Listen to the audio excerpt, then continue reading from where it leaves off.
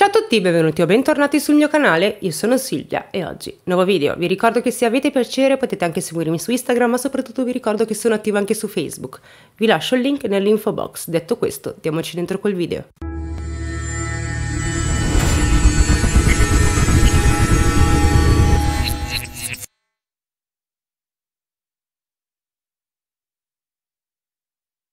Oggi sono qui per raccontarvi un caso assurdo. Non credo sia uno dei peggiori che io abbia trattato, ma quando leggevo le fonti di questo caso ero lì che dicevo ma com'è possibile? Com'è possibile che questa donna faccia tutto questo indisturbata?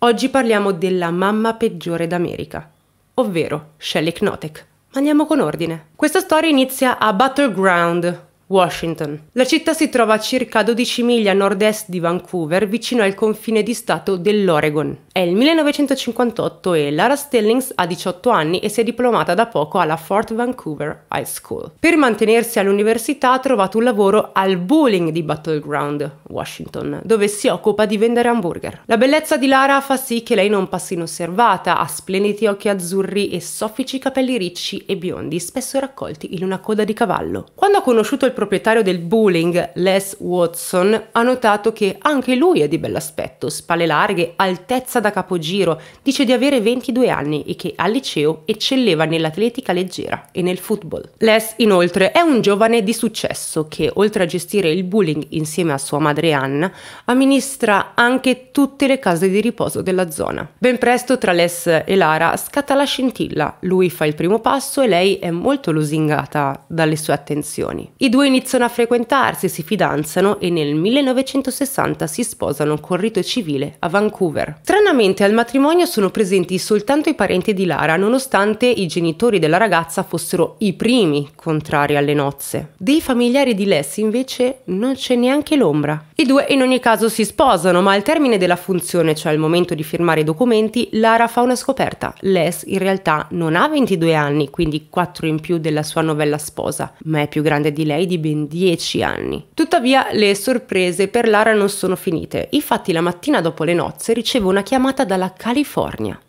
A telefonare è l'ex moglie di Les, Sharon Todd Watson. La prima frase che pronuncia è allora quando vieni a prenderti questi dannati bambini, Laran non capisce di cosa stia parlando questa sconosciuta, ma intuisce che Les ha omesso non pochi dettagli sul suo passato. L'uomo non ha mai raccontato a Lara della promessa fatta alla sua ex moglie Sharon, quella di crescere in casa propria i figli nati dal loro matrimonio, ossia Chuck, Michelle detta Shelley, e Paul Watson. Dopo la sconcertante telefonata, Les spiega finalmente a Lara chi è Sharon e aggiunge che la donna non è in grado di prendersi cura dei bambini.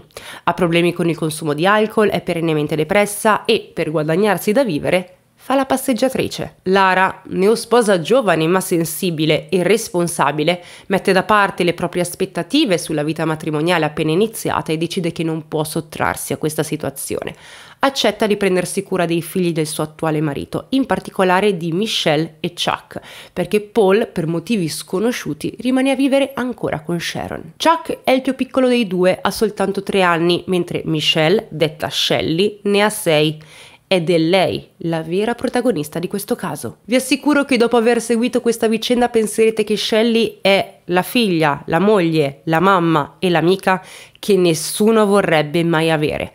Ma continuiamo con la storia. Mentre la madre biologica dei bimbi si dimentica subito di loro, Lara, che ha assunto il ruolo di matrigna, ben presto si rende conto che il rapporto tra Shelley e Chuck è strano.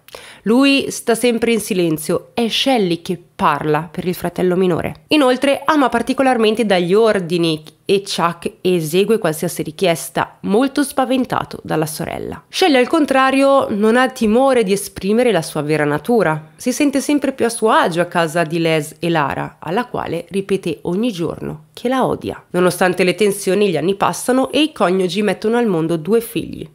Sharon, l'ex moglie di Les, sembra non essere mai esistita, ha continuato a essere assente, ma nella primavera del 1967 ricevono sue notizie. Il Dipartimento dello Sceriffo della Contea di Los Angeles telefona a casa della coppia di Battleground che sta accudendo Shelley e Chuck ormai da sette anni. Un detective dell'omicidi spiega che Sharon è stata trovata senza vita ammazzata nella stanza di un motel. Il medico legale ha bisogno che qualcuno identifichi il cadavere e soprattutto che qualcuno si prenda cura di Paul, il figlio più piccolo di Sharon. Les in realtà non vuole farsi carico del ragazzino perché sostiene che abbia problemi comportamentali accertati, ma Lara lo convince che è la cosa giusta da fare. Così la coppia si reca in California per identificare il corpo di Sharon e per recuperare Paul. La polizia e il coroner dicono ai coniugi che Sharon non aveva una fissa dimora, viveva per strada a Skid Row ed era sempre ubriaca. A quanto pare era stata picchiata a morte. Skid Row è un distretto della downtown di Los Angeles, un'area che contiene una delle più grandi popolazioni stabili di senza tetto negli Stati Uniti. Chi attraversa questa zona non deve stupirsi nel vedere un susseguirsi di scatole di cartone e tende da campeggio allineate lungo i marciapiedi. Insomma, Skid Row non è sicuramente un posto in cui vivere tranquilli, neanche per un adulto, e figuriamoci per un bambino. Paul, che aveva sempre vissuto con la mamma, forse ha anche assistito al suo violento pestaggio. Quando Shelley apprende la notizia della morte di sua madre ha ormai 13 anni e la sua reazione è di totale disinteresse, non dice nulla e non farà mai domande sull'accaduto. Nel frattempo il nuovo arrivato, Paul, crea non pochi problemi a Lara, proprio come aveva previsto Les. Il ragazzino non è capace di controllare gli impulsi di alcun tipo e non ha alcuna abilità sociale, non sa nemmeno come sedersi a tavola composto. Poverino, non è colpa sua se è cresciuto con con una figura genitoriale sbandata, se nessuno gli ha insegnato nulla. Probabilmente Paul doveva procurarsi del cibo da solo e si arrangiava per strada come poteva. Infatti, il secondo giorno nella nuova casa, Lara lo sorprende in piedi sul bancone della cucina alla disperata ricerca di cibo. Paul apre tutti gli armadietti, afferra qualcosa e poi se lo butta alle spalle fino a quando non trova ciò che desidera mangiare. Lara, nonostante l'impegno, si rende conto che fa troppa fatica a tenere testa a tutti e tre i figli di Sharon e Les. Già gestire Shelley le risulta difficile da anni, ora l'arrivo di Paul ha complicato la situazione e alimenta lo stress. Mentre Les è assorbito dagli affari, lei è alle prese con una Shelley sempre più dispettosa e ostinata, con un Paul che Lara stessa definisce selvaggio selvaggio e con un Chuck solitario che ancora non parla ma piuttosto se ne sta chiuso nella sua stanza a piangere per ore. Lara lo sottolinea, prendersi cura di Paul e Chuck è difficile, ma è sceglie a creare i problemi maggiori. I genitori si impegnano per trasmettere benessere a tutti i figli, ogni weekend organizzano viaggi sulle coste dell'Oregon o di Washington, durante l'estate vanno in barca mentre d'inverno li portano a sciare. Eppure Shelley ogni volta fa storie si rifiuta di partire con Less Lara e, quando non riesce a ottenere ciò che vuole, racconta delle bugie. Shelley ama mentire. Ad esempio, siccome odia fare i compiti e anche andare a scuola, puntualmente inventa che i fratelli più piccoli le hanno distrutto i quaderni o i libri. Quando questa bugia non regge più, allora Shelley si rifiuta di andare a scuola. Se Lara le chiede di lavare i piatti, Shelley si avvicina al lavandino e finge di lavarli. In realtà sistema le stoviglie ancora sporche nei mobili. Come se non bastasse, è solita dare fuoco ad alcune cose presenti in casa e soprattutto ruba dai portafogli di Les e Lara. Col tempo il comportamento di Shelley in realtà peggiora, oltre a essere una ragazzina ingrata, si dimostra pure vendicativa. È chiaramente infastidita dalla presenza dei suoi fratelli, perché vuole essere sempre al centro dell'attenzione. Chuck e Paul sono una scocciatura in quanto vogliono portarle via la scena. Ogni volta che Lara presta attenzione a loro e non a Shelley, quest'ultima si organizza per vendicarsi. I suoi non sono certo scherzi innocui, basti pensare che in un'occasione ha infilato dei pezzi di vetro nelle scarpe dei fratelli. Lara, sconvolta, si chiede chi mai farebbe una cosa del genere, ma presto ottiene una risposta. Anna, la nonna paterna dei bambini, ossia la madre di Les. Anna, come accennato, gestisce delle case di cura per anziani nella zona insieme al figlio Les. Lara, già travolta da una vita da mamma superattiva, inizia a lavorare per lei. Siccome Anna abita nei dintorni, quando Lara va al lavoro può affidarle a Shelley. Anche quando la ragazzina esce da scuola, spesso prende l'autobus e va a casa della nonna che si prende cura di lei. Mentre lavora in queste case di cura,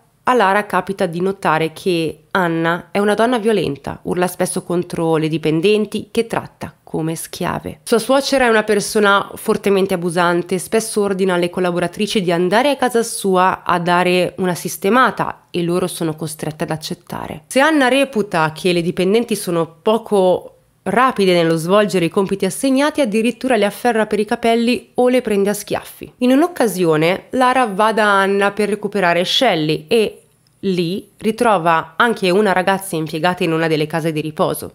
Ha i capelli tutti bagnati. A quanto pare Anna le aveva infilato la testa nel water per poi tirare lo sciacquone più e più volte. Lara è scossa mentre Shelley adora stare con la nonna. Quando Lara va a riprenderla spesso subisce anche i rimproveri della suocera perché i capelli di Shelley non sono ben lavati o ben pettinati. Lara, conoscendo il carattere aggressivo di Anna, evita di alimentare la discussione, fa finta di nulla, prende Shelley e la riporta a casa, fino a quando un pomeriggio ritrova Shelley con i capelli vistosamente tagliati. Quando Lara chiede spiegazioni, Anna le risponde che si è presa cura della nipote visto che lei, sua nuora, non è in grado di farlo. Shelley, dal canto suo, invece di prendersela con la nonna, è furiosa con Lara, le dà la colpa dell'accaduto. È successo perché lei non sa spazzolarle i capelli. Apro e chiudo una parentesi a 13-14 anni i capelli io me li spazzolavo da sola, ma andiamo avanti. Nel marzo del 1969, quando Shelley ha 15 anni, si reca dal consulente scolastico con aria di messa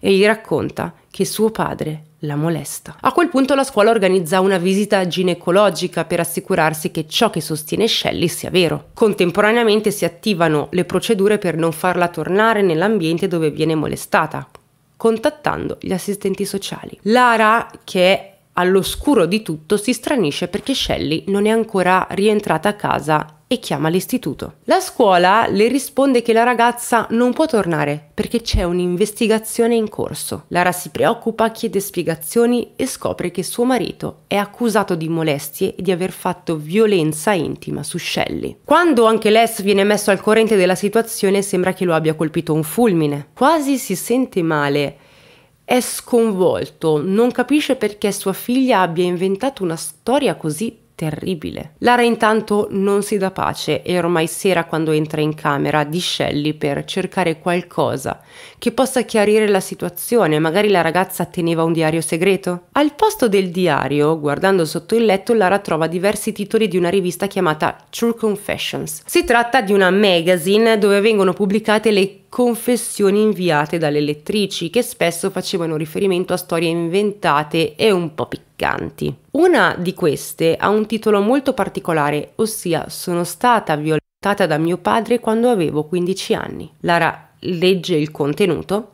e si rende conto che il racconto di Shelley e quello riportato dall'articolo coincidono.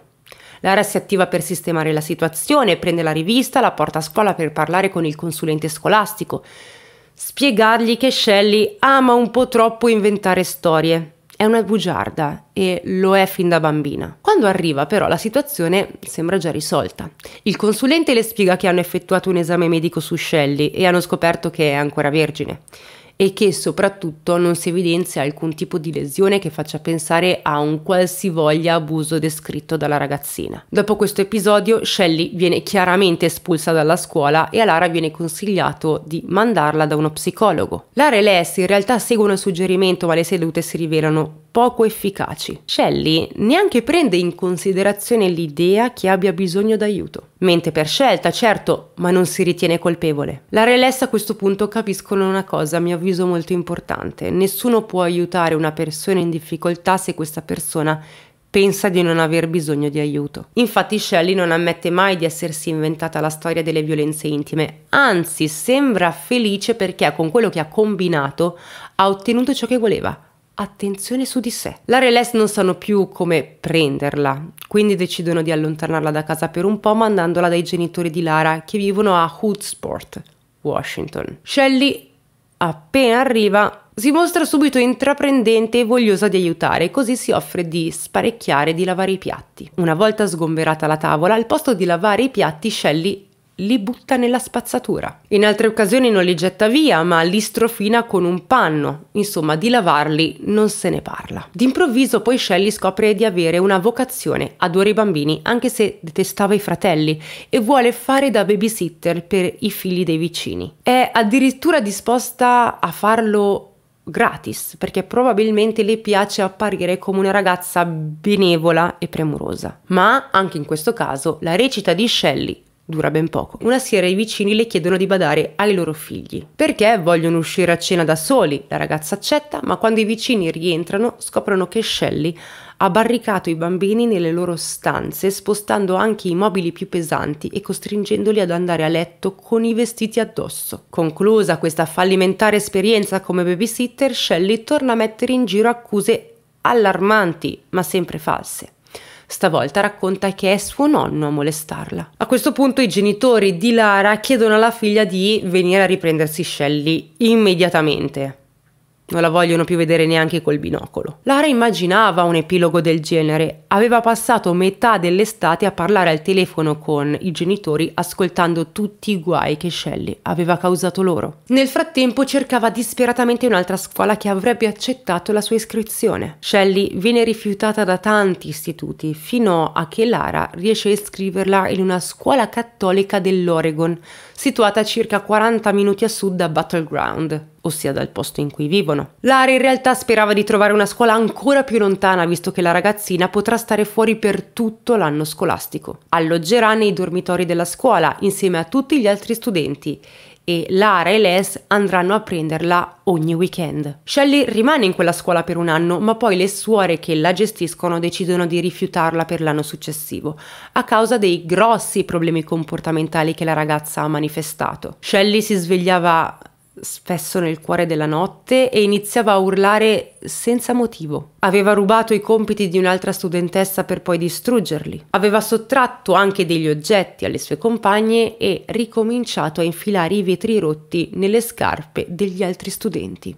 Quando torna a Battleground, Shelley non si dimostra cambiata, passa le giornate a dire a Lara che la odia con tutta se stessa e che vorrebbe vederla morta. Lara ormai non ne può più, e le risponde che neanche lei è un regalo venuto giù dal cielo. Ma soprattutto Lara è arrabbiata perché Les, nonostante tutto, continua a trattare Shelley come fosse una principessina. Un giorno Les contatta sua sorella Katie e le dice che Shelley ha bisogno di affetto e che a lui e a Lara serve davvero una mano.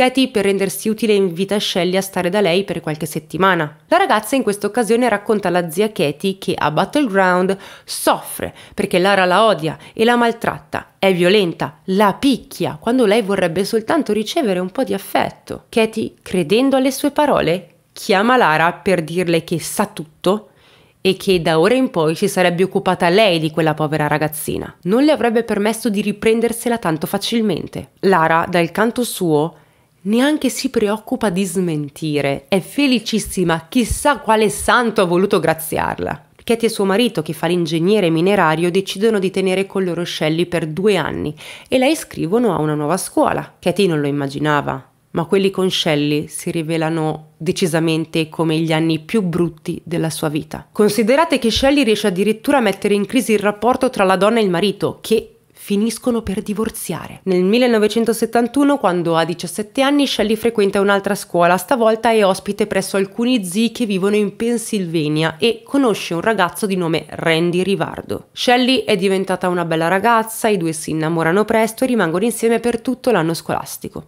Poi il diploma traccia un bivio lungo il loro percorso. Shelley si ritrova costretta a tornare a Battleground, mentre Randy decide di rimanere in Pennsylvania, ha bisogno di un lavoro che gli permetta di pagare le tasse universitarie. Shelley invece andrà a lavorare con sua nonna e, prima di partire, chiede insistentemente a Randy di accodarsi a lei. Gli dice che l'avrebbe ospitato senza problemi e soprattutto che i suoi parenti gli avrebbero di certo procurato un lavoro.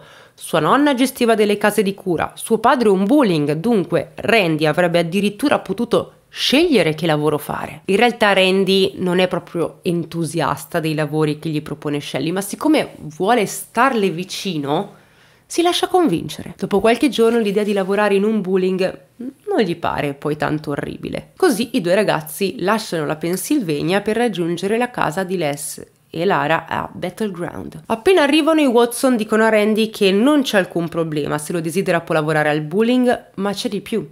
Les, che non aveva mai conosciuto Randy, lo accoglie a braccia aperte per poi chiedergli quando avrebbe sposato sua figlia. Come potrete immaginare, lo scopo di Les e Lara è che l'indesiderata Shelley se ne vada al più presto e il matrimonio è il modo migliore per assicurarsi il suo allontanamento. In breve tempo il matrimonio viene organizzato, addirittura Les procura subito un testimone a Randy. Il ragazzo, che ha un temperamento a dir poco passivo, non si oppone, lascia che le cose facciano il loro corso e dentro un paio di mesi si ritrova sposato con Shelley a febbraio del 1973. Come era accaduto in occasione del matrimonio di Lara e Les, anche in questo caso i parenti dello sposo non si presentano alla funzione. Randy chiaramente ci rimane male e chiede loro spiegazioni per poi scoprire che non erano nemmeno stati avvisati della celebrazione. Shelley non solo non aveva mai spedito gli inviti ai familiari di Les, ma li aveva anche cestinati. Diciamo che Shelley ama buttare le cose degli altri, lo adora e penso che non sia solamente un comportamento dispettoso, ma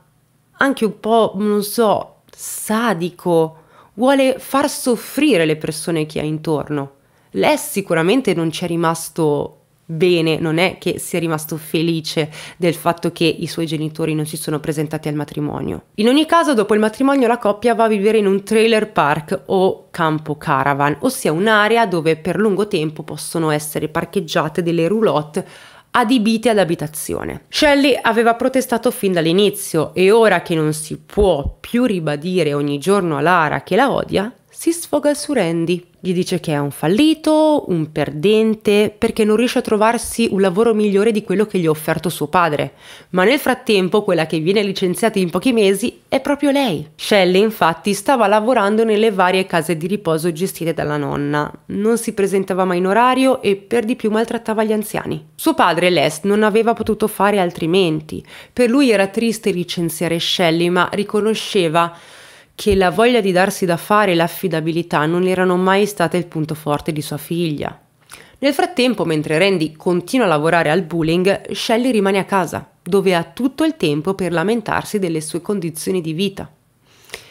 Dice al padre che abita in una zona pericolosa, ma siccome Les la contraddice, Shelley formula un'altra richiesta – Vuole una macchina nuova, un maggiolino per la precisione. Suo padre, pur di accontentarla, va a Vancouver per comprarle un'automobile, anche se non si tratta di un maggiolino. Tuttavia non ha acquistato un'auto qualunque, ma un'ottima macchina, una Buick decapottabile rosa pallido e praticamente nuova e Shelley però è delusa. Si arrabbia tantissimo con lui e quando Randy rincasa dal lavoro se la prende anche con il marito. Shelley, sopraffatta dalla tristezza e dal disprezzo per quella macchina, la notte stessa tenta il suicidio. Pare abbia assunto un mix di sonniferi e alcol. Randy, quando se ne accorge, prova a rianimarla senza riuscirci quindi chiama Les e Lara per chiedere il loro aiuto. Presi dal panico più totale, tutti insieme portano Shelley in ospedale, ma a seguito dei controlli medici scoprono che la ragazza aveva assunto un Tylenol per intenderci, una sorta di tachipierina. Shelley aveva quindi finto di essere andata in overdose perché non aveva ottenuto la macchina che voleva. Passa altro tempo, ma la sua infelicità di vivere in quel trailer park non diminuisce. Una sera Randy torna a casa e trova la roulotte preda del caos e Shelley con dei graffi in faccia. Singhiozzando, sua moglie gli spiega che un malvivente era entrato in casa loro, l'aveva aggredita e aveva fatto violenza su di lei. Randy Allarmato, chiama lo sceriffo della contea di Clark e il suocero Les. I due arrivano a pochi minuti l'uno dall'altro. Randy e Les restano fuori mentre lo sceriffo interroga Shelley nella roulotte. Poco dopo lo sceriffo li raggiunge con una faccia cupa dicendo che le ferite di Shelley sono autoinflitte. Nessuno si era introdotto nella roulotte. Shelley, colpendosi, voleva dimostrare a Les che vivere lì era davvero pericoloso. Il suo unico desiderio era abitare in una bella villetta con giardino. Nonostante lo sceriffo smentisca la versione di Shelley, Les le crede e si decide a comprare un appartamento a Vancouver per sua figlia e Randy. Come avrete notato, alla fine Shelley ottiene sempre quello che vuole, nonostante i suoi piani siano alquanto goffi se non pericolosi. Arriviamo al 1975 quando Shelley partorisce la prima figlia, che si chiama Nikki. I parenti di Randy si organizzano per fare visita alla bambina e portare dei regali, ma Shelley non li vuole intorno. Randy questa volta però non la seconda. I suoi parenti conosceranno la sua prima figlia. Shelley allora gli dà filo da torcere. Durante la permanenza dei parenti di Randy si chiude in camera e non esce neanche per salutarli. Randy però decide di non cadere nella sua provocazione, inventa qualche scusa e la giornata trascorre serenamente. Quando i suoi familiari se ne vanno, lasciano alla piccola Nicky diversi giochi, che Shelley si affretta a cestinare. Durante i primi tre mesi di vita di Nicky, Shelley e Randy si trasferiscono di nuovo da Les e Lara.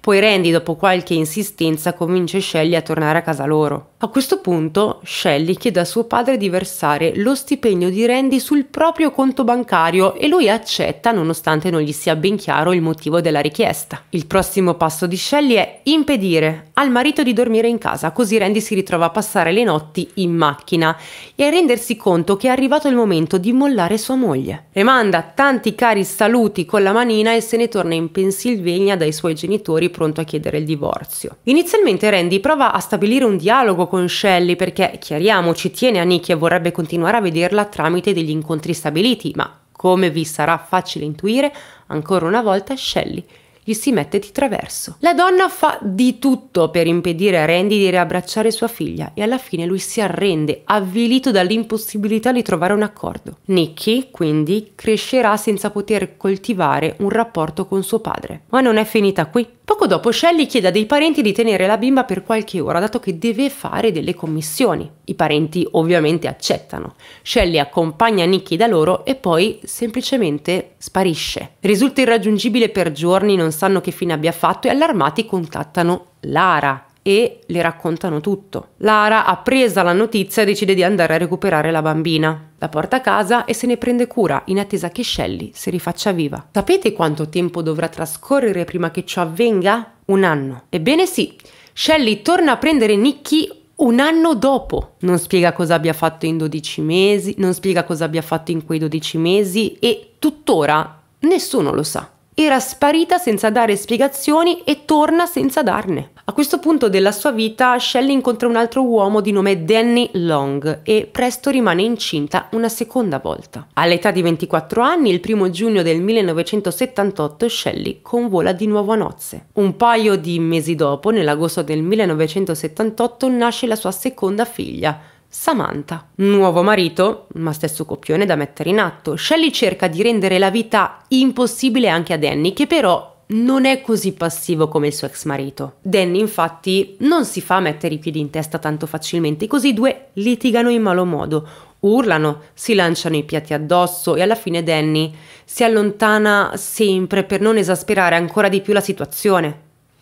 Dopo cinque anni però anche Danny decide di fare ciao ciao e lasciare Shelley. Ma visto che non c'è due senza tre, nel 1983, a 29 anni, Shelley trova un altro compagno di nome David Knotek. David ha origini umili, ma è un gran lavoratore, è impiegato in una fabbrica di legname. Shelley lo porta a casa e gli presenta le sue due figlie, Nikki e Samantha. Poco dopo, Shelley inventa un'altra bugia dalle venature tragiche.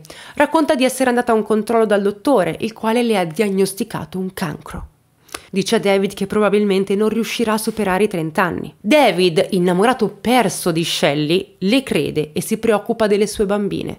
Se Shelley morirà, chi si prenderà cura di loro? Senza pensarci due volte, David si trasferisce a casa di Shelley e dopo poco tempo i due convolano a nozze. È il 28 dicembre del 1987. La testimone di nozze di Shelley è una sua amica parrucchiera di nome Kathy Lorino, che vi menziono perché riapparirà in questa storia. Il matrimonio tra Shelley e David pare andare bene, i due sembrano innamorati principalmente perché lui è completamente in balia di Shelley. Lei in realtà lo tartassa, gli ripete che non guadagna abbastanza, che non fa nulla per trovare un secondo lavoro con cui arrotondare, oppure un lavoro più redditizio, che non si impegna perché non ama né lei né le bambine. Shelley è violenta, prende a schiaffi il marito, lo spinge e David non sa proprio come reagire. Pensa che ripagare Shelley con la stessa moneta sia sbagliato, quindi si limita a subire. Nel frattempo, siccome le bambine sono un po' cresciute, Shelley trova opportuno trattare male anche loro. Fino a quel momento si era dipinta come una mamma amorevole e dall'esterno appariva proprio così, ma in realtà trascorreva tutto il giorno a guardare la televisione mangiando cioccolatini, lasciando le bambine chiuse in camera da letto. Come se ciò non sia già abbastanza, ora le tratta pure con violenza, le punisce per qualsiasi cosa, anche la più stupida. Per esempio, se una delle due bimbe usa la sua spazzola, ma non si ferma qui. Shelley nasconde il suo modo di fare abusante dietro la disciplina per rimettere in riga le bambine adotta dei provvedimenti ben più gravi di qualche sculacciata. È solita svegliarle nel cuore della notte per trascinarle fuori in cortile, anche se sono in pieno inverno. E attenzione, ci troviamo a Washington, gli inverni sono rigidi, fa molto freddo. Le figlie, siccome Shelley è imprevedibile, si abituano a dormire coperte da qualche vestito in più. Si mettono magari il doppio pigiama. Col senno di poi, sia Nicky che Samantha sottolineeranno che spesso venivano punite per motivi che neanche loro conoscevano. Mentre frequenta le elementari, quando Nicky gioca a pallavolo, è solita indossare dei collant opachi sotto i pantaloncini, proprio per nascondere i lividi e le ferite che le procura sua madre. Una volta Shelley arriva addirittura a frustarla col cavo del telefono. Nicky tuttavia non confida a nessuno i maltrattamenti subiti, non vuole essere al centro dell'attenzione e arriva a pensare che se sua madre la picchia così ferocemente, deve essere anche colpa sua. La settimana prima di Natale Shelley rinchiude Nicky nella sua camera da letto dicendole che non vale nulla e che la disgusta. Quando arriva il 25 dicembre però fa finta di nulla, riempie lei e la sorellina di regali, cucina il pranzo, insomma di colpo quello sembra il Natale perfetto. Tuttavia, alla fine della giornata, finisce anche la pacchia. Shelley ritira tutti i regali dati alle bambine dicendo loro che non li meritano perché sono cattive e ingrate. Durante un altro Natale Shelley regala a Nicky una bambola che la piccola desiderava tanto. Nicky è felicissima, ma al termine della giornata, anche in questo caso Shelley ritira il regalo. La bambola finisce in un armadio. Fortunatamente non la butta, ma non la butta perché in realtà la bambola è un regalo di Shelley. Shelley butta via solo i regali degli altri, fateci caso. O comunque quando doveva lavare i piatti li buttava, buttava solo i piatti degli altri. Non è che adesso chi abita da sola butta via i servizi di piatti ogni volta che c'è un pranzo o una cena. Nicky dunque trova il coraggio di recuperare la bambola per giocarci un po' quando Shelley non è a casa, ma deve fare molta attenzione perché se non la riposiziona Esattamente nel modo in cui l'aveva sistemata Shelley, quest'ultima se ne sarebbe accorta e l'avrebbe punita. Intanto gli anni passano, le ragazze crescono e Shelley inizia a impedire loro di usare il bagno quando vogliono, ma soprattutto quando ne hanno bisogno. Devono prima chiedere il permesso che lei spesso e volentieri nega. Le sorelle sono dunque impossibilitate a lavarsi a ogni occorrenza e si vestono sempre con gli stessi abiti, con il risultato che a scuola i compagni le allontanano tacciandole di essere quelle puzzolenti che non si lavano. Shelley in effetti permette a Nicky e a Samantha, di lavarsi una volta al mese e rimane sulla porta a fissarle mentre provvedono alla loro igiene. La doccia per Nicky e Samantha è un privilegio che solo Shelley a questo punto può concedere. Le punizioni inflitte sono sempre più dolorose per Nicky, la figlia più grande, Samantha, nella sfortuna ha la consolazione di essere la figlia preferita di Shelley. Infatti, durante un'estate, la donna decide di chiudere Nicky nella sua camera da letto per ben due mesi. Non può neanche uscire per andare in bagno, i bisogni fisiologici deve espletarli in un secchio che Shelley ha disposto nella sua camera. In futuro Nicky dirà che tutto sommato quei mesi di reclusione in camera sua per lei sono stati splendidi. Shelley infatti aveva tantissimi libri tascabili che non sapeva dove collocare, così erano finiti all'interno di alcuni scatoloni riposti nell'armadio. Nicky aveva trascorso tutta la sua prigionia leggendo, senza subire le solite punizioni. Provate dunque a immaginare anche solo lontanamente che vita orribile conducesse questa ragazzina per risollevarsi di una situazione del genere. Le punizioni per Nicky erano davvero dure e dolorose, anche se, dopo avergliele inflitte, Shelley la riempiva di attenzioni, inducendo la ragazza a sperare che sua mamma potesse essere sempre così amorevole e dolce e che non tornasse a farle del male. La verità è che nonostante tutto sia Samantha che Nicky vogliono bene a Shelley. A un certo punto David perde il lavoro e Shelley gli dà una mano affinché ne trovi uno nuovo, che però lo porterà a 5 ore di distanza da casa. La soluzione per Shelley è ovvia. David andrà a vivere vicino al posto di lavoro e tornerà soltanto nei weekend. Ovviamente dovrà mandarle tutti i soldi guadagnati. Nel frattempo Shelley ha preso anche un'altra incredibile decisione vuole prendersi cura di suo nipote Shane, il figlio di suo fratello Paul. Come ricorderete, Paul è il più piccolo tra i figli di Sharon e Les, quello che probabilmente aveva assistito al letale pestaggio di sua madre. In effetti la vita di Paul è stata tutto fuorché facile, è finito spesso in prigione, ha avuto parecchi problemi con le sostanze, e ha sposato un'alcolizzata. Così, quando Paul finisce in carcere per l'ennesima volta, Shane si ritrova a vivere letteralmente per strada, esattamente come suo padre tanti anni prima. La prima a venire a sapere di questa situazione è Lara, la nonna Lara, che si offre di accudirlo, ma Shelley le dice che può occuparsene lei visto che Shane ha 13 anni ed è coetaneo di una delle sue figlie. Lara qui mi voglio spiegare, accetta perché è convinta che la maternità abbia migliorato Shelley come persona, considerando anche che Nicky e Samantha,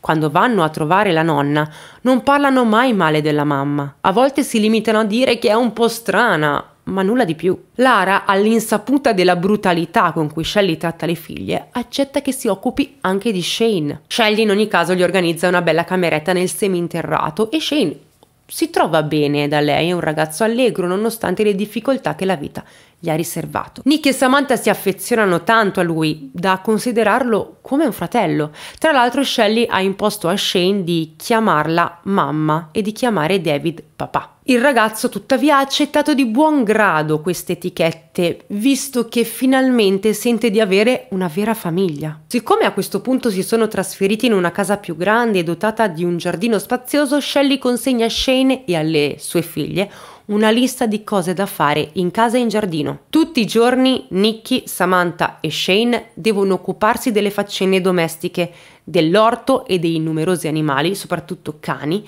che Shelley decide di prendere ma di non curare. Nel frattempo, vi ricordo, i ragazzini devono andare anche a scuola, studiare, fare i compiti. In questo periodo Shane inizia ad avere timore di Shelley anche perché Nicky gli ha confidato come sua madre ha trattato per anni lei e Samantha. Spaventato Shane cerca sempre di portare a termine tutti i compiti elencati sulla lista che Shelley gli consegna ogni mattina. Quando non ci riesce, ovviamente Shelley lo punisce. E in che modo lo punisce?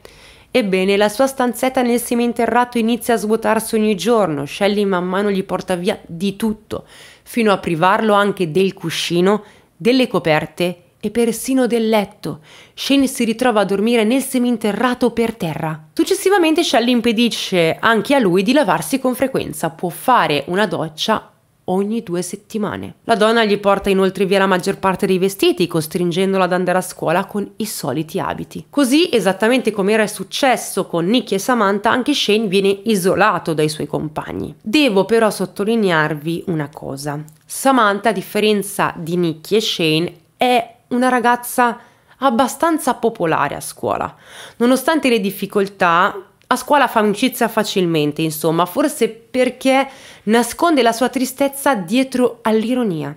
Samantha è simpatica, allegra, mentre Nikki è una ragazza più solitaria. Siccome Nikki e Shane hanno legato particolarmente, Shelley decide che li deve punire insieme. Le sue punizioni sono spesso dolorose, altre volte imbarazzanti. In diverse occasioni li obbliga a spogliarsi e a ballare nudi un lento davanti a tutta la famiglia compreso David. Secondo lui questi provvedimenti servono per disciplinare i ragazzini, ma è chiaro che Shelley non sappia più cosa inventarsi. Vi ricordo, tra l'altro, che David lavora lontano da casa, quindi vive la situazione familiare solo nei weekend e non si sogna neanche di mettere in dubbio i metodi di Shelley. Nicky e Shane, due ragazzini di 14-15 anni, sono vittime di un enorme imbarazzo e a volte mentre ballano nudi scoppiano a piangere. Mentre Samantha riesce quasi sempre a sfuggire all'era di Shelley, per Nicky e Shane i castighi non finiscono qui. Quando nevica, la donna li costringe a spogliarsi anche all'aperto. Devono andare a sedersi su una collinetta che si innalza dietro la villa e restare lì a gelarsi senza alcun capo addosso per tutto il pomeriggio. Shelley li richiama in casa solo quando il sole è ormai calato. E poi dice entrambi: Spero che ora abbiate imparato la lezione. Loro annuiscono, ma non hanno idea del perché li abbia puniti. Quando Shelley rimane nuovamente incinta, David, il futuro papà, pensa di essere di fronte a un vero e proprio miracolo perché è ancora convinto che Shelley abbia il cancro. Shelley, siccome David è sempre fuori per lavoro, invita a stare da lei una sua carissima amica per ricevere aiuto mentre è in dolce attesa, la testimone di nozze, Kathy Lorino. Kathy, come accennato, faceva la parrucchiera, ma è stata licenziata. Ogni tanto va ancora a casa dei clienti, ma non ha abbastanza soldi per comprare una casa tutta sua. È tornata a vivere con sua madre, la quale però pretende che la figlia le paghi l'affitto. Katie, confortata dalla proposta di Shelley, si trasferisce volentieri da lei, ma siccome si sente in debito vuole accontentare ogni sua richiesta. La prima istruzione che Shelley fornisce a Kathy è che Shane e Nicky sono due ragazzini che necessitano disciplina perché hanno problemi comportamentali. Insomma, che succede? In breve tempo Shane e Nicky iniziano a detestare Kathy, la quale li rimprovera sempre per cose che non hanno fatto o per totale assurdità. Adesso i due hanno una specie di seconda madre punitiva, come se la prima già non bastasse. Katie però si sente la benvenuta, Shelley le ha fatto trovare una stanza tutta per lei e le due amiche passano molto tempo insieme, fino a quando nasce Tori, la terza figlia di Shelley. È il giugno del 1989 e per la nuova arrivata urge una stanza, quella in cui si era sistemata Kathy per inciso che finisce a dormire in cantina. Tori è nata con una settimana d'anticipo, ma è una bambina in salute. Ciononostante, in qualche modo Shelley riesce a convincere tutti che Tori ha i polmoni sottosviluppati e qualche problema cardiaco. Quando torna a casa per la prima volta con la bambina, Shelley la sistema nella sua stanzetta per poi tornare un po' di tempo dopo annunciando che Tori aveva smesso di respirare, ma lei era riuscita a rianimarla. Shelley insieme a Kathy riporta Tori in ospedale dove la neonata viene tenuta sotto controllo dai medici. Al momento di rincasare i dottori le danno una culla particolare. Se la bambina avesse smesso di respirare sarebbe scattato un allarme. E indovinate un po'? Questo allarme scatta ogni singola notte, svegliando tutti, ma ogni volta che qualcuno accorre nella stanza di Tori, trova Shelley che la sta cullando pronta a ripetere Oh, è tutto a posto, l'ho salvata, ce l'ho fatta. Una notte Nikki, che non riesce a dormire perché teme di essere svegliata dal solito allarme, scende le scale, va in camera di Tori e trova Shelley che sta mettendo un cuscino in faccia alla sorellina. Questa è la prima volta che Shelley viene beccata e reagisce stupita dicendo Oh no, le stavo mettendo a posto il cuscino. In questo periodo Shelley inizia a riversare la sua rabbia sulla cara amica Kathy. Le ripete che deve mettersi a dieta perché è grassa, non fa altro che mangiare. Subito dopo Shelley rimarca anche il fatto che è lei a pagare il cibo che mangia. Kathy, arrendevole, si fa aiutare da Shelley che le prescrive una dieta dall'alto della sua incompetenza e le dà delle pillole dimagranti.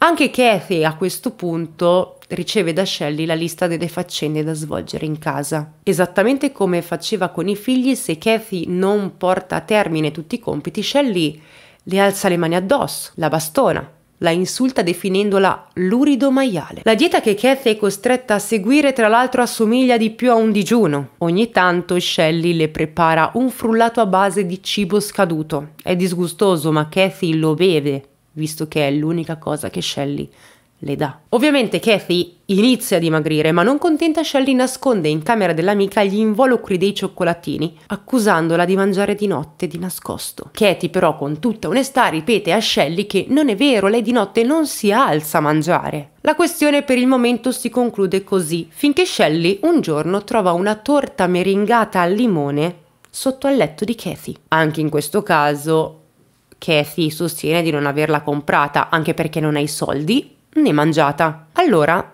Shelley la convince di una nuova fantasiosa realtà. Kathy è chiaramente sonnambula, mangia di notte senza rendersene conto. In realtà Nicky sa che è stata sua madre a nascondere sia la torta che gli involucri dei cioccolatini sotto il letto di Kathy. L'ha vista, ma non ha il coraggio di dirlo. Intanto Kathy si convince di essere sonnambula per davvero. Un giorno Shelley convince Shane a dire a Kathy che l'ha sorpresa nel bel mezzo della notte. Se ne stava in camera sua, senza vestiti, completamente nuda. Kathy purtroppo ci crede, se ne vergogna, sente di essere precipitata in un incubo, anche perché le famose pastiglie dimagranti che le dà Shelley sono in realtà un mix di medicine e psicofarmaci che non è chiaro come si sia procurata. Kathy assumeva l'orazepam, che è un farmaco della categoria delle benzodiazepine, Nitroquick, ossia della nitroglicerina, Atenol, che è un farmaco beta bloccante, Alteis, un farmaco usato nel trattamento dell'ipertensione e di alcuni tipi di insufficienza cardiaca cronica, e paroxetina, che è un antidepressivo. Kathy non aveva mai mangiato di nascosto, non mentiva e il suo dimagrimento preoccupante lo rendeva evidente. Insomma, aveva l'aspetto di una donna malnutrita. Oltre al cibo, Kathy viene privata pure degli oggetti che le sono più cari, come è accaduto ai figli di Shelley. La donna man mano le sottrae i suoi dischi country, i vestiti, le foto, fino ad arrivare anche in questo caso a portarle via il letto. Kathy è costretta a sbrigare le faccende di casa nuda, anche davanti ai figli di Shelley.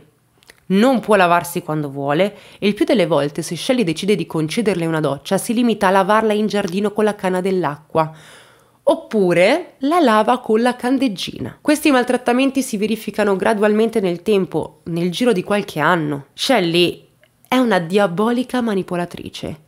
Kathy ha una personalità fragile, ma vi ricordo che per un paio d'anni è stata ridotta alla fame e riempita di farmaci pesanti, mai prescritti da un medico. Shelley decide pure di tagliarle i capelli a un certo punto e se ricordate Kathy era una parrucchiera e andava fiera dei suoi capelli lunghi e ben acconciati. Tuttavia Kathy non riesce più a protestare.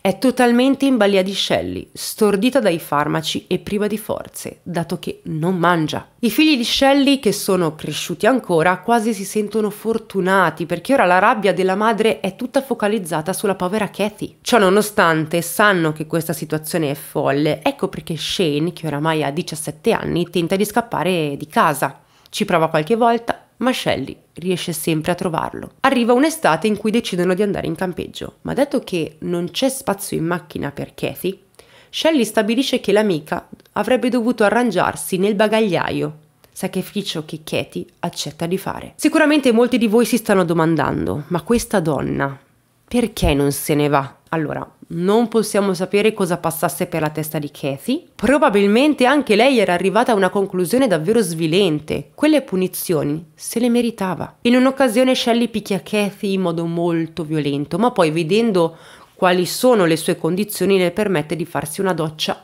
in bagno. Kathy però è arrivata a un punto di non ritorno, non ha più forze e così perde l'equilibrio, scivola nella doccia e sbatte contro il vetro che va in frantumi. Si ritrova con il corpo stravolto dalle ferite, ma Shelley non vuole portarla in ospedale perché sarebbe evidente che Kathy subisce torture da anni. Stabilisce di curarla in casa, le disinfetta le ferite come può e le benda. Ora Kathy non riesce neanche più a parlare, ha subito dei danni neurologici. Poco dopo questo evento muore, è il 1994. I ragazzi vedono il corpo senza vita che David, ordinando a Shane di aiutarlo, decide di portare in giardino. Sì, come starete immaginando, neanche i resti di Kathy vengono trattati con rispetto, amorevolezza e dignità. La priorità di Shelley è quella di tutelarsi da ogni accusa, così manda i figli in un hotel, mentre lei e Dave bruciano il cadavere di Kathy in giardino. I ragazzi sanno bene che Kathy è morta, ma Shelley dice loro che la donna se n'è andata con il suo fidanzato. Tori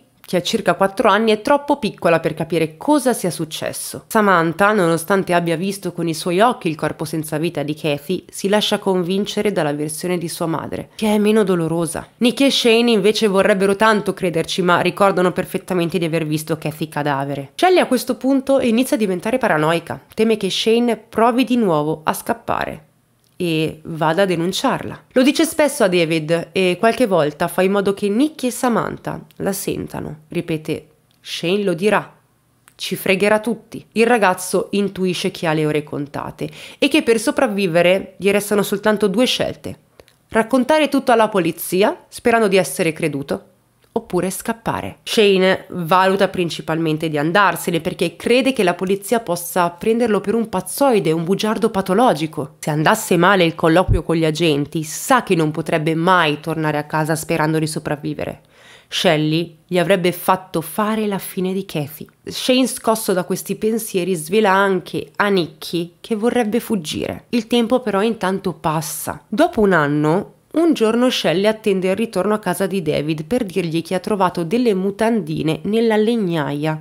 Sono sporche di sangue e appartengono a Tori, la piccola della famiglia. Per Shelley è opera di Shane. David sbianca, non crede che il ragazzo possa aver avuto della sorellina e nemmeno Nicky e Samantha lo ritengono possibile. Ma Shelley insiste e alla fine David va da Shane e lo picchia selvaggiamente. Dopo questo atroce avvenimento, Shane ripete a Nicky che non ce la fa più. Mm, deve andarsene. Nel febbraio del 1995, un paio di settimane prima del ventesimo compleanno di Nicky, Shane scompare davvero, improvvisamente. Nikki è tanto, tanto preoccupata, ma spera con tutta se stessa che Shane sia davvero riuscito a scappare. Shelley dice a tutta la famiglia che il ragazzo è partito e è andato a fare il pescatore in Alaska. A questo punto, dato che in casa non ci sono più né Kathy né Shane, Nikki ricomincia a essere la vittima preferita di Shelley. Siccome Shelley ha sperimentato mille modi per punirla, si ingegna per concepire un nuovo castigo le impedisce di rientrare in casa la notte. Nicky si intrattiene nei boschi vicini all'enorme casa dove si sono trasferiti da poco, una fattoria situata a Raymond, sempre nello stato di Washington. Se ne sta al freddo aspettando che Shelley si degni di aprire la porta di casa. Ogni notte si chiede come evitare questa tortura considerando che Samantha e Tori possono dormire al caldo. Nicky Ama tanto le sue sorelle, ma non può fare a meno di chiedersi come mai sua madre si accanisca contro di lei. Shelley non manca di ripetere a Nicky che è spazzatura, una stronza, una perdente. Quando finisce gli epiteti con cui insultarla, si limita a concludere dicendole: Nessuno ti amerà mai, Nicky, nessuno. Altre volte, come se ad agire fosse letteralmente una mamma diversa, la fa rientrare a casa, le prepara un pasto caldo e le ripete quanto la ami. Questa versione docile di Shelley dura circa 5 giorni, poi la donna torna a maltrattare Nicky che ogni volta vede infrante le proprie speranze che la madre possa cambiare in maniera definitiva. Per evitare di patire sempre il gelo della notte, Nicky inizia a nascondere nel pollaio coperte, giacche e cappotti, in quanto spesso viene sbattuta fuori di casa completamente nuda. Quindi in tal modo, eh, quantomeno, potrà coprirsi un po'. Nicky si diploma nel 1993, riesce a ottenere una borsa di studio, così si iscrive a un college vicino a casa. È molto felice che sua madre gliel'abbia permesso, considerando che si divertiva a distruggere i suoi compiti o a farle sparire i libri di scuola. Nicky frequenta quindi il college ma continua a dormire a casa con Shelley, che non rinuncia a sottoporla al solito strazio. Le fa sparire gli abiti che indossa per andare al college e le fa trovare soltanto quelli usati per lavorare in giardino, sporchi sporchi e strappati. Per Nicky è complicato presentarsi a lezione, ma ancora non demorde. Un giorno quando Nicky rientra a casa, sua madre le dice che la sua camera da letto non c'è più e che avrebbe dovuto dormire sul pavimento del soggiorno. Infine Shelley le impedisce di usare la macchina, dunque anche di raggiungere il college. Nicky è avvilita a questo punto si sente proprio in trappola. Aveva aspettato a lungo questo momento per potersi allontanare da casa, ma neanche la borsa di studio e il college le permettono di prendere le distanze da Shelley e da quella dimora infernale. Però quando sua madre le urla di rinunciare a quell'inutile college per trovarsi un lavoro, in Nicky scatta qualcosa. In presenza di David, la primogenita esplode. È la prima volta che qualcuno dei membri della famiglia ha il coraggio di gridare in faccia a Shelley. Nicky si arrabbia tantissimo. Risponde che non può neanche mettersi alla ricerca di un lavoro senza una macchina e che non si spiega come mai i suoi vestiti buoni siano spariti. Insomma, chi l'avrebbe assunta dopo averla esaminata mentre indossava una tuta logora con cui era solita sistemare il giardino? Shelley, come mai prima d'ora, si esprime con una voce innocente dicendo a Nicky che se aveva bisogno della macchina Bastava dirlo. Nicky a questo punto la guarda con disappunto e se ne va via, spiazzando sua madre. Il giorno dopo Shelley si sveglia sul piede di guerra, ma Nicky è pronta allo scontro. La ragazza esce di casa e si dirige nel pollaio per dare da mangiare agli animali. Sua madre la raggiunge e prova ad aggredirla, ma Nicky si difende e la spintona. A questo punto si rende conto di essere abbastanza forte per tenere testa a Shelley, quindi la spinge più volte fino a farla cadere. Le urla di andare a farsi fottere e scappa a gambe levate. Nikki si rifugia nel bosco dietro casa dove passa la notte al freddo ma soddisfatta. Finalmente è riuscita a reagire. È allarmata, certo, non sa come sua madre potrebbe vendicarsi, ma si sente più forte. E Shelley questo l'ha capito. Infatti il giorno dopo si avvicina a Nicky tentennando e le dice che sua sorella Samantha non la vuole più in casa dopo quello che ha fatto il giorno precedente. Questa tra l'altro è una balla che sta proprio poco in piedi, nel senso che Samantha è felice per Nicky quando vede che è riuscita a difendersi in qualche modo. In ogni caso, cosa dice Shelley? Le comunica che lei e David hanno deciso di mandarla in Canada da zia Trish, una sorella di David. Nikki intuisce che qualcosa non va perché la zia Trish per lei è un'estranea, l'ha vista soltanto un paio di volte, ma non si mette a fare storie. Accetta di andarsene. Sua madre le dà 50 dollari e la accompagna alla stazione degli autobus, così Nicky parte. Lontana da casa, Nicky trova il coraggio di parlare con la zia, di rivelarle che in famiglia succedono cose brutte, per cui la prega di non mandarla via. Così il soggiorno di Nicky si allunga, rimane lì per qualche mese, lavora da una mano a Trish ed è felice. In quel periodo nessuno le urla contro, Nessuno le dice che non vale niente, che è una nullità. Nicky non vorrebbe mai andarsene dal Canada, ma presto Shelley le chiede di tornare. Tuttavia, non vuole riaccoglierla in casa, ha deciso che vivrà con David che abita vicino al posto di lavoro e, come detto, raggiunge la famiglia soltanto nel weekend visto che deve percorrere 5 ore di viaggio. Soltanto adesso Nicky scopre che David in quei 5 giorni della settimana vive in una tenda si lava in un bagno pubblico e mangia presso le mense che forniscono pasti caldi ai senza tetto. Gli dice che è apprezzabile che mandi tutti i soldi a casa, proprio tutti tutti, ma se vivesse in un piccolo appartamento di certo non commetterebbe un crimine. David quindi finalmente si lascia convincere ad affittare un monolocale prossimo al luogo di lavoro. Quando i due tornano a casa per il fine settimana, Shelley si aspetta che Nicky la preghi di farla restare ma non succede. Nicky resiste due giorni mentre elabora piani. Il lunedì riparte con suo padre e poi, quando arrivano a destinazione, scappa. Una volta lontana, riesce in qualche modo a trovare un lavoro part-time in una gelateria, poi un secondo lavoro come cameriera in un motel. Nicky spiega al gestore la sua situazione, non ha un posto dove vivere, ma ha già un lavoro part-time, presto avrebbe avuto dei soldi, percependo la paga settimanalmente. Il proprietario del motel le permette in effetti di dormire in una roulotte singola sul retro. Quella è una vera e propria topaia, ma Nikki è felice di ciò che è riuscita a realizzare. È scappata, ha trovato ben due lavori e ha un tetto sopra la testa. Nessuno ora l'avrebbe più svegliata nel cuore della notte per sbatterla in giardino in pieno inverno. Ora, qual è il punto? Il punto è che Nikki è sfuggita al controllo di Shelley che Furiosa inizia a sfogarsi su Samantha, la quale però non intende più coprire sua madre. Samantha non ha mai subito gli stessi maltrattamenti di Nicky. Forse Shelley apprezza che sia una ragazza popolare e non solitaria come la sorella. Oppure, cosa ben più probabile, teme che le sue angherie se rivolte alla secondogenita diventino note, visto che lei è piena di amici. Nonostante la vita tremenda orchestrata da Shelley, Samantha ha sempre nascosto i propri disagi con l'ironia e la simpatia. Quando sembrava che qualcosa non andasse, aveva la scusa pronta. Se sua madre le buttava i compiti, Samantha diceva che non li aveva fatti. Se le bruciava i libri di scuola, raccontava di averli persi. Ma ora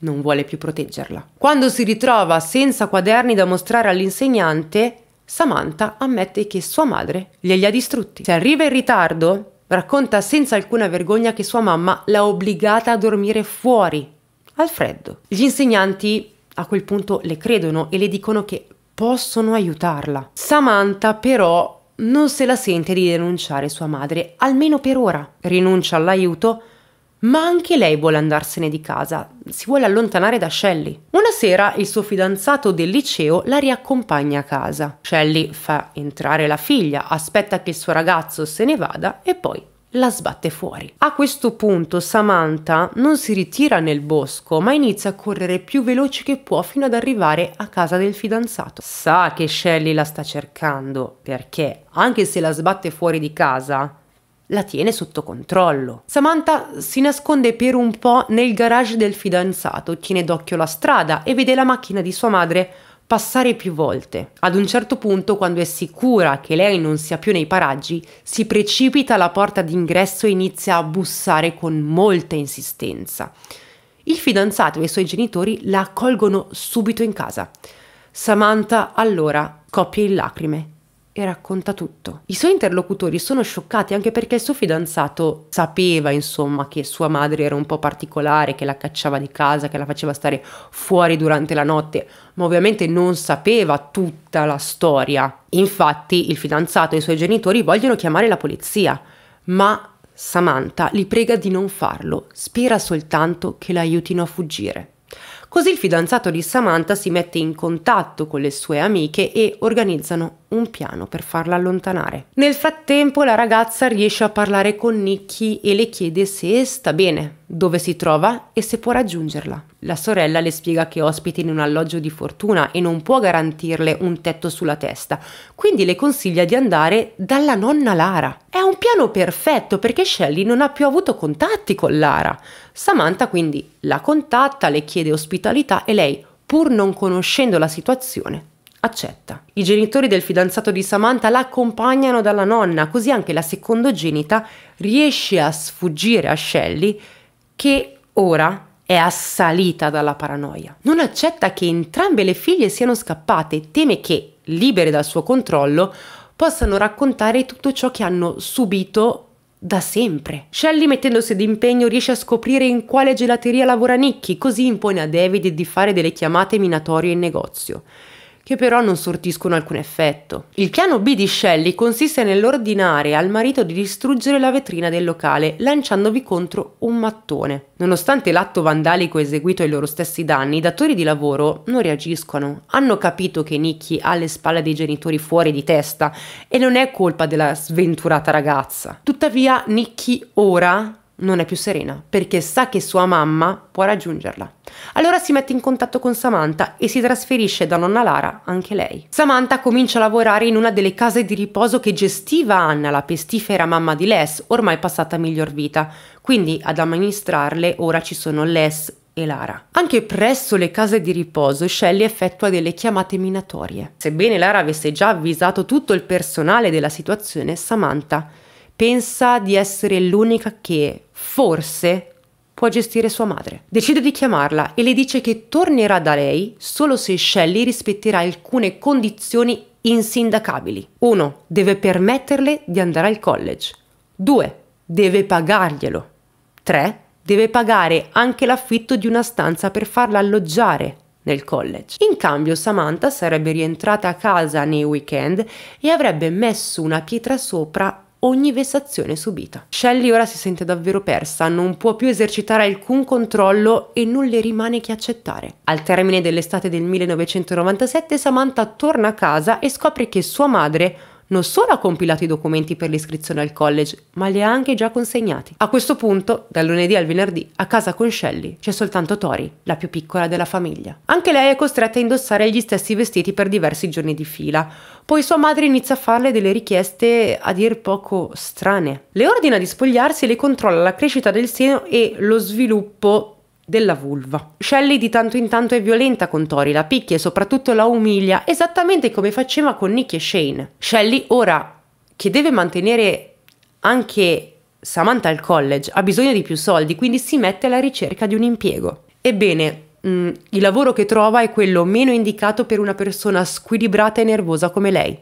L'assistente sociale. Riuscite a crederci? Shelley, nello specifico, grazie a Dio, non si occupa di bambini, ma di donne e uomini anziani con varie difficoltà. Sul posto di lavoro incontra un volontario di nome Ron Woodworth, che sta attraversando un brutto periodo a seguito della morte del padre avvenuta nel 1997. Ron è caduto in depressione e purtroppo poco dopo viene lasciato dal suo compagno con cui aveva una relazione che durava da ben 17 anni. Come se non bastasse, Ron versa in gravi problemi economici, tanto che rischia di perdere la propria casa. Secondo voi chi è la persona tanto tanto magnanima che accorre in suo soccorso e gli offre ospitalità? Ebbene sì, Shelley purtroppo che va a nozze con le fragilità altrui. La donna organizza per Ron la vecchia stanza di Samantha. All'inizio la convivenza procede a gonfie vele, ma poi lo schema delle angherie si ripete. Shelley comincia a insultare il suo ospite, gli dice che le fa schifo e che deve stare lontano dalla sua Tori perché ha una cattiva influenza su di lei. Ron è la nuova vittima preferita della donna, quindi Tori può tirare un sospiro di sollievo, ma Tori si affeziona tantissimo a Ron, lo considera come uno zio, quindi è comunque dispiaciuta. Sceglie addirittura picchia Ron e poi non gli permette più di mangiare con loro. Ron rimane nella sua stanza a consumare il pasto che Shelley gli prepara ogni singola sera, ossia un toast. La padrona di casa inoltre, tanto per cambiare, gli somministra delle pillole, spiegando a Tori che sono tranquillanti o sonniferi. Tuttavia, da quando Ron assume questi farmaci, cambia inevitabilmente. Diventa passivo, non chiacchiera più, e soprattutto sottostà a ogni cattiveria di Shelley. Ben presto anche lui viene privato persino del letto e si ritrova a dormire per terra. Anche lui non può più andare in bagno quando desidera, ma deve chiedere il permesso a Shelley, che spesso glielo nega. La donna gli consegna ogni dì una lista di lavori da sbrigare in giardino e in casa e obbliga Ron a svolgerli in mutande. Sì, la storia si ripete. Shelley aveva già rivolto queste torture ai figli e all'amica Kathy. Arriviamo al 2001 quando Shelley viene licenziata perché per fortuna qualcuno si è accorto che non è adatta a fare l'assistente sociale. Si presentava al lavoro in ritardo e raccontava bugie tutti i dipendenti non volevano più avere a che fare con lei. Nick intanto confida alla nonna Lara che Shelley e David avevano ucciso Kathy. La ragazza e la nonna decidono di denunciare il fatto.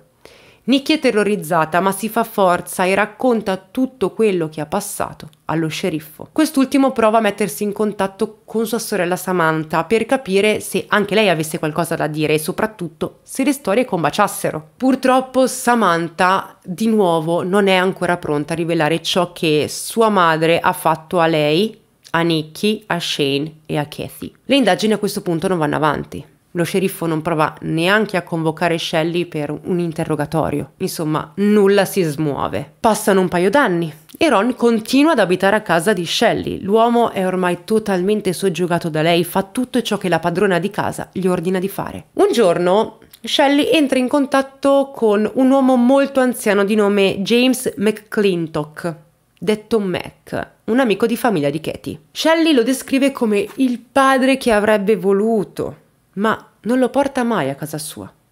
L'uomo abita da solo e lei gli fa visita spesso. I due solidificano un bel rapporto, tanto che Mac chiede più volte a Shelley di trasferirsi da lui. Shelley gli risponde che proprio non può, però continua ad andarlo a trovare e lo convince a nominarla come sua unica erede. Mac, al di là di ciò, ha bisogno di aiuto, gli serve un assistente che stia con lui 24 ore al giorno, quindi Shelley decide di mandare Ron in suo soccorso. Ron inizia a occuparsi di Mac, gli dà una mano nel prendersi cura dei suoi bisogni personali, come ad esempio fare il bagno. Arriviamo al 9 febbraio del 2002, quando Mac muore, è caduto e ha sbattuto la testa. Di lì a poco Shelley eredita tutto il suo patrimonio, compresa la casa. Tuttavia, forse, a spingere Mac è stato Ron, sotto minaccia di Shelley perché Tori qualche volta sente la madre che tra gli insulti vari accusa Ron di essere un assassino. Ron non dice nulla per discolparsi, ormai anche lui ha un guscio vuoto. L'uomo ha perso molto peso, Shelly non gli dà abbastanza da mangiare, in più gli somministra quelle medicine che lo debilitano. Il suo destino ricalca quello di Kathy, anche se Tori non lo ricorda perché era troppo piccola quando la donna abitava con loro. Non percepisce che le cose orribili dette e fatte da sua madre rientrano in un copione ormai ben collaudato da anni. Sempre nel 2002 Nicky si sposa e Tori va al suo matrimonio di nascosto perché Shelley non vuole che mantenga i contatti con la sorella fuggitiva. Ron nel frattempo continua a stare a casa di Shelley e Pare che a questo punto non voglia proprio andarsene. Un terribile giorno Shelley lo obbliga a salire sul tetto della casa e a saltare giù per atterrare nel cortile. Ron esegue l'ordine e si spacca entrambi i piedi. E Shelley ora eh, lo considera ancora più inutile. Ron in queste condizioni non può neanche lavorare in giardino e mantenersi occupato tutto il giorno. Shelley dunque dice a Tori che l'avrebbe portato nella casa di Mac che lei stessa aveva ereditato. Ma Ron, con i piedi gonfissimi sicuramente rotti, mai visitato da un medico, come potrà cavarsela da solo? Shelley ripete a Tori di non preoccuparsi, Ron è in grado di badare a se stesso. E in effetti, un giorno Ron scompare e Shelley conferma a Tori di averlo accompagnato a casa di me. Promette a Tori che sarebbe andata a controllarlo ogni giorno, ma non lo fa mai. Tori chiaramente ha dei sospetti, ma non può immaginare quale fine abbia fatto Ron. Il suo corpo è molto più vicino, in casa loro stipato nel congelatore. E ancora una volta tocca a David liberarsene, seppellendo il cadavere in giardino. Quando Samantha finisce il college e ormai vive da sola, Shelley manda Tori a trovarla. Le sorelle però si mettono d'accordo anche con Nikki e riescono a ritrovarsi tutte insieme. Tori racconta loro degli abusi che aveva subito una volta rimasta sola con la madre e soprattutto di quelli patiti da Ron. E Nick e Samantha si preoccupano quando Tori spiega che Ron era sparito da un giorno all'altro. Loro ricordano che fine aveva fatto Kathy, ma soprattutto ripensano al fratello acquisito Shane, anche se non hanno la prova che Shelley lo abbia ucciso. Per scoprirlo, devono denunciare insieme la madre. La polizia, questa volta, prende la denuncia seriamente.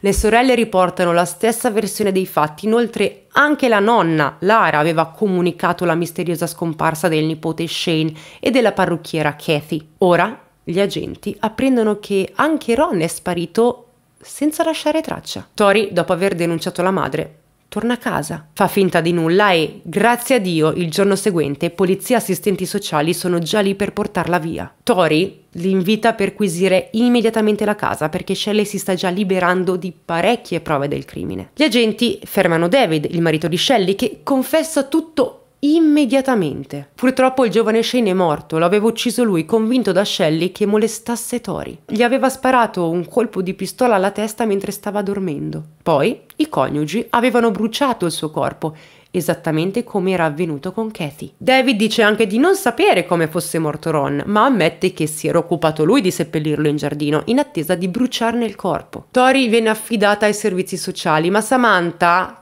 che ha compiuto 25 anni, si propone come sua tutrice.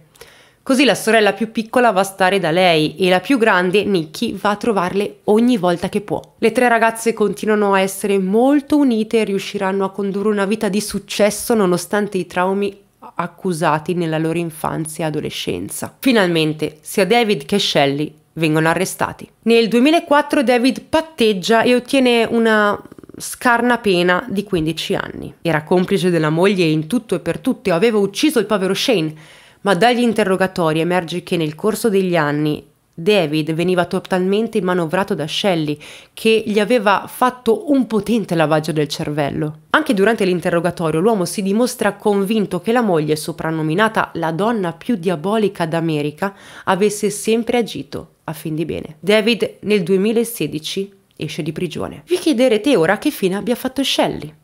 Lei ha optato per l'Alford Plea, e cioè L'Alford Plea è un presupposto che interviene quando un imputato sostiene di essere innocente ma è consapevole che ci sono abbastanza prove contro di lui, dunque si giunge a un patteggiamento. L'imputato accetta di apparire colpevole agli occhi della legge anche se continua a sostenere la propria innocenza. Grazie all'accordo Shelley ottiene una condanna a 17 anni di reclusione. Converrete con me che è una pena magra, ma sorretta da alcune motivazioni. Innanzitutto, l'autopsia sul corpo di Ron non prova come fosse morto, quindi Shelley viene condannata per occultamento di cadavere, ma non per omicidio. Quanto a Mac, invece, non sussistono prove che sia stato ucciso. L'uomo è caduto, quindi la sua morte viene valutata come un incidente. Gli altri due corpi, quello di Kathy e quello di Shane, non possono essere esaminati perché sono stati bruciati e le ceneri sono state disperse in un fiume. In più, David ha accettato il patteggiamento, ma si è rifiutato di testimoniare contro Shelley. In sostanza, nonostante la colpevolezza di Shelley sia palese, le autorità hanno convenuto che il patteggiamento fosse la via più sicura per riuscire quantomeno a incarcerarla. Se avessero tenuto un processo normale e Shelley si fosse procurata un bravo avvocato, magari sarebbe addirittura stata assolta, perché mancavano prove schiaccianti contro di lei. Shelley però prima di essere dichiarata colpevole vuole fare un discorso davanti al giudice, occasione in cui si dà la zappa sui piedi. Infatti, anche se non ammette le proprie colpe, ribadisce che tutto ciò che ha fatto nella sua vita l'ha sempre fatto a fin di bene. Così, alla sua condanna vengono aggiunti altri 5 anni per un totale di 22. Oggi, questa spietata criminale è libera. È stata rilasciata nel novembre del 2022 nonostante le sue figlie abbiano ribadito che continua a essere molto pericolosa. Nel 2017 le figlie di Shelley hanno contattato lo scrittore Greg Olsen per chiedergli di raccontare la loro storia con un solo obiettivo, impedire alla madre di uccidere di nuovo. L'autore di bestseller accetta e scrive un libro molto dettagliato intitolato If You Tell, che ho usato come unica fonte per questo video una vera storia di omicidi, segreti di famiglia e sul legame indissolubile della sorellanza. Alcuni potrebbero chiedersi come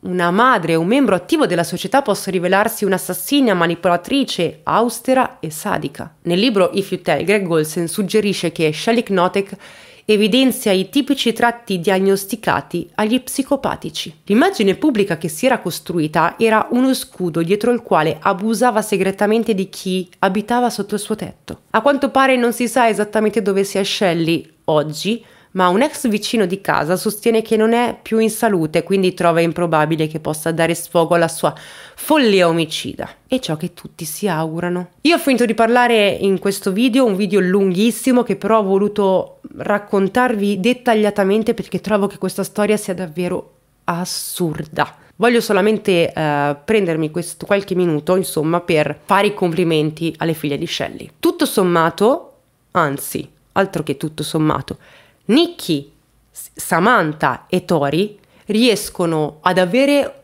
una vita davvero soddisfacente.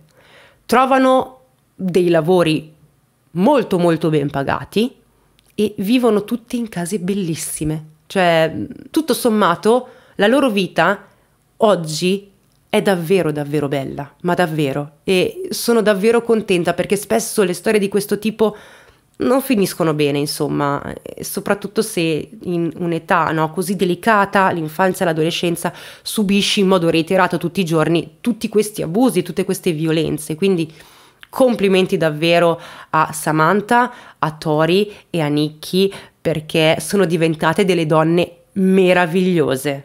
Davvero. Detto questo, ragazzi, io sono curiosa di sapere cosa ne pensate di questo caso. Chiaramente Shelley è una sadica incredibile, ma sono curiosa di sapere che cosa ne pensate, se lo conoscevate già.